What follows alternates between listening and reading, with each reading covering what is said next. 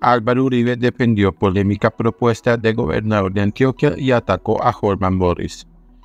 No olvido el portillo. El expresidente de la República en sus redes sociales se refirió a los frentes locales de seguridad propuestos por el mandatario Andrés Julián Rendón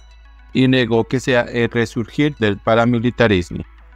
En un nuevo ripirrape en redes sociales, el expresidente de la República Álvaro Uribe Vélez le salió al paso a la entrevista hecha por el periodista Holman Morris, su gerente de televisión de RTBC, que en diálogo con el comandante Leonardo, comandante de los frentes 18 y 36 de las disidencias de las FARC, al mando de alias Iván Mordisco, sugirió que los llamados frentes locales de seguridad en Antioquia serían la resurrección de las llamadas convivir.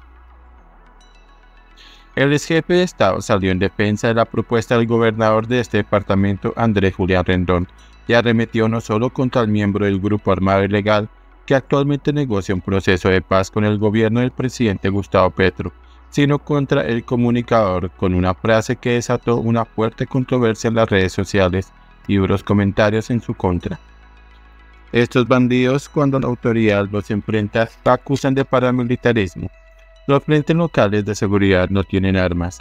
Se necesita seguridad y apoyo a las Fuerzas Armadas y al gobernador. Sin seguridad no hay paz, y al periodista no se le olvidó el portillo, indicó Uribe Vélez a través de su perfil de X, con un enlace en el que se pudo ver completa la entrevista de Morris.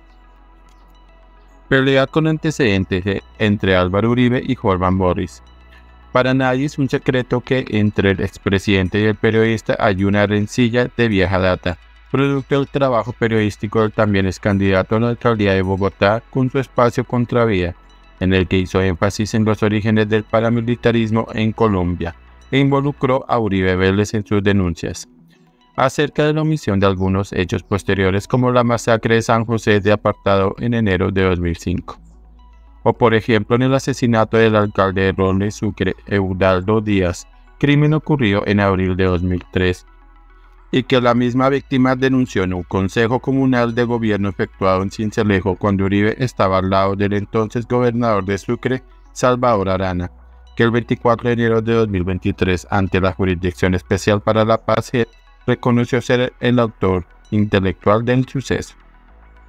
El 28 de julio de 2016, al expresidente Uribe le tocó retratarse de afirmaciones hechas contra el canal Capital, al opinar que durante la gestión de Morris fue un medio de comunicación afectó a los intereses del terrorismo.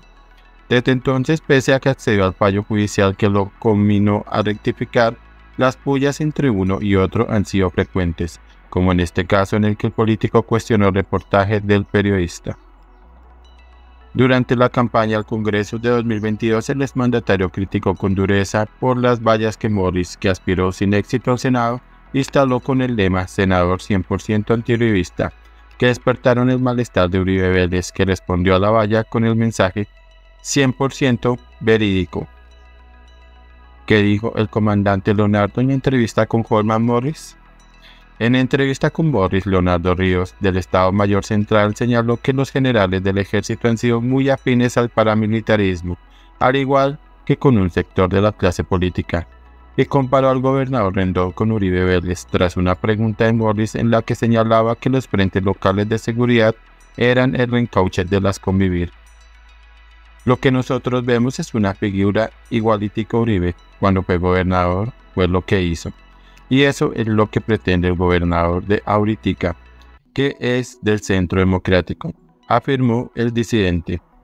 Y agregó que en Antioquia hay un avance paramilitar que pone en riesgo el cese al fuego por los cuatro puntos cardinales, por el Bajo Cauca, Amalfi, Yarumal y por Santa Rosa y al pie de ellos se mantiene el ejército.